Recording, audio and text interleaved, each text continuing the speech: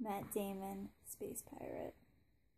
Hey YouTube community, this is Lexi and this is Lexi's weekly lexicon.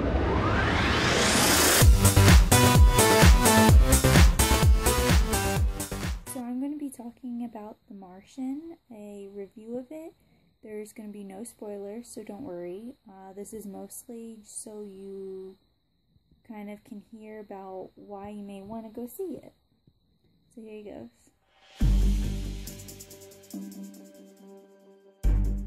So I just went and saw The Martian. It was amazing. I really did not think it was going to be that good. It's really one of the best movies in a while. Um, I might be biased because I do love those type of space movies and things like that.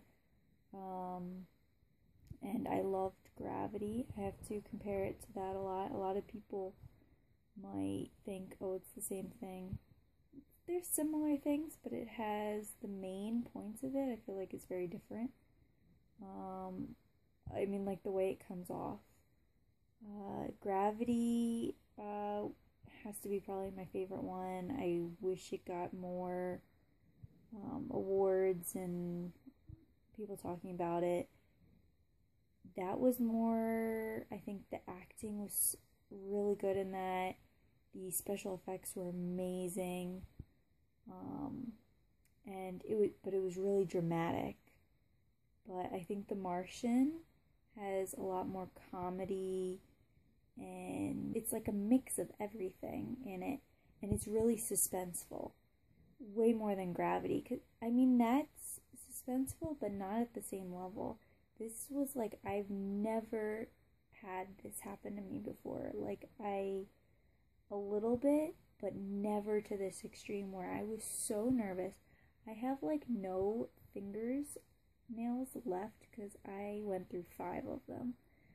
I was like almost shaking so many times and I just really got into it.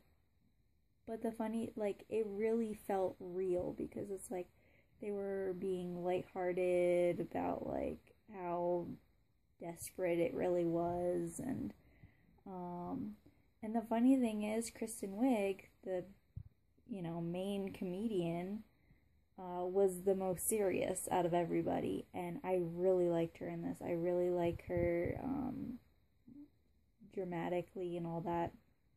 Um, I think this was a really good role for her.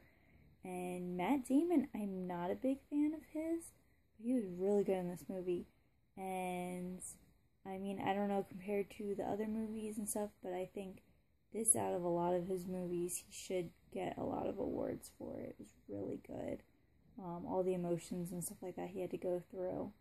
So you guys should check out the movie and tell me in the comments how you liked it and uh, if you were as in suspense and nervous as I was because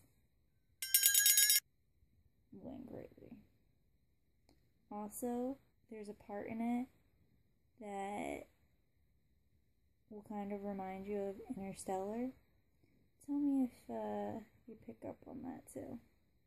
Lex out. Matt Damon, Space Pirate. It's a pretty interesting beard.